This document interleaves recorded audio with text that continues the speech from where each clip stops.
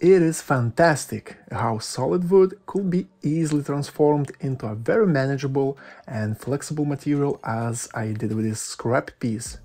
More stunning is the fact that all you need is only one cheap power tool and a bit of patience. This test piece was done to check the concept idea in general, does it works at all? Now I need to repeat all that on a bigger scale with this 20mm of thickness American walnut board. If all goes well, it should become a round-shaped floating shelf from a single board. I started by cutting a small chamfer on a table saw to give a bit more detail to the board. My plan is to start bending the board at 30 cm from the end, so the very first cut mark was made there. After that, I made a repetitive 15 marks every 1.66 millimeters.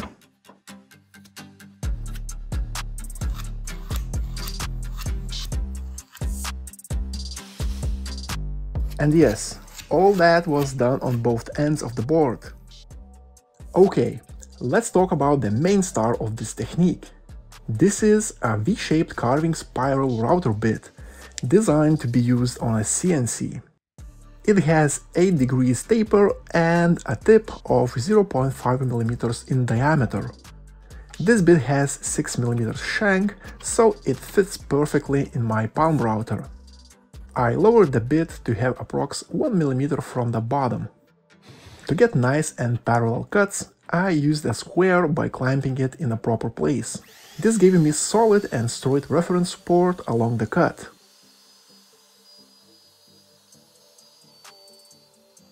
And yes, the process is quite repetitive. Unclamping, eyeballing the right place, clamping square back, making a pass with a router, and starting all over at the next line. Keep in mind this carving bit wasn't designed to be used in this way as I'm doing.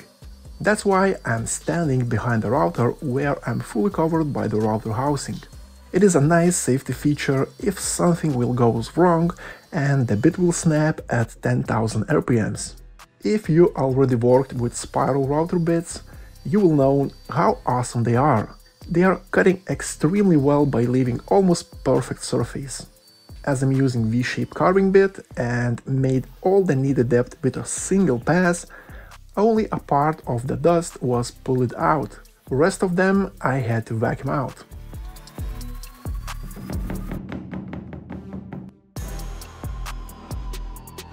Some surface sanding was needed to remove those small tear-outs.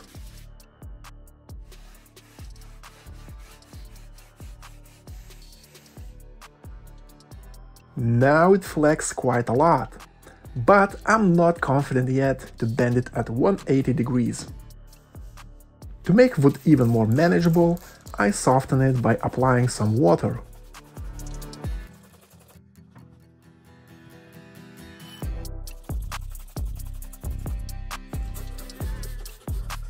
Ten minutes later, water did its job and I made the first attempt.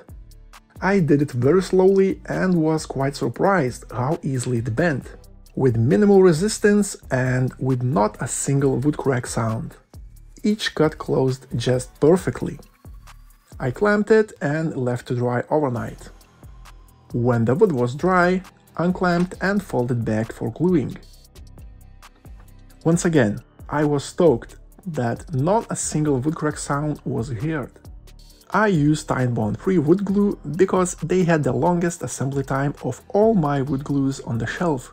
I guess the wood glue should spread along the whole cut by bending, but I did not want to gamble here, so I passed all cuts with a bamboo stick and spread the glue out. This ensures a perfect glue up. Added some glue before closing the gap and well clamped. Here I did take into account that the wood glue will give extra thickness in each cut.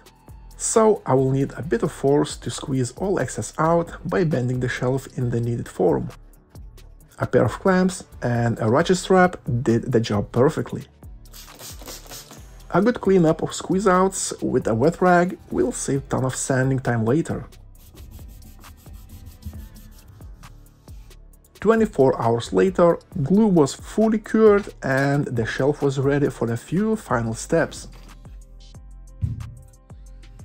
First, I gave a light sanding with 120 grit sandpaper.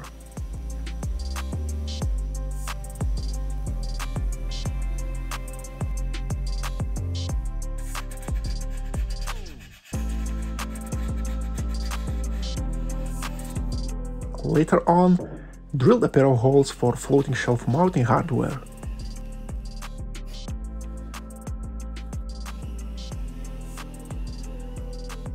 And lastly, apply the finish. I used Osmo Hard Wax Oil, which is my top favorite finish for quite a long time.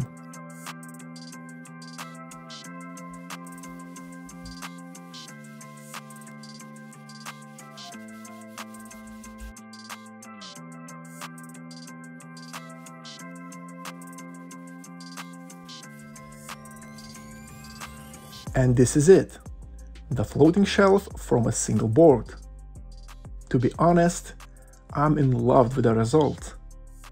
It looks more like a pro woodworker job instead of a regular DIY guy who made it in his basement with a single power tool. I'm still stunned by how all gaps are even and seamlessly closed. The fact that the outer surface has small bends representing marks even makes it more unique and outstanding. And a small chamfer gives that nice detail too. Drop a subscribe, because this is a lovely thing to do. Thanks for watching, and till the next time, bye!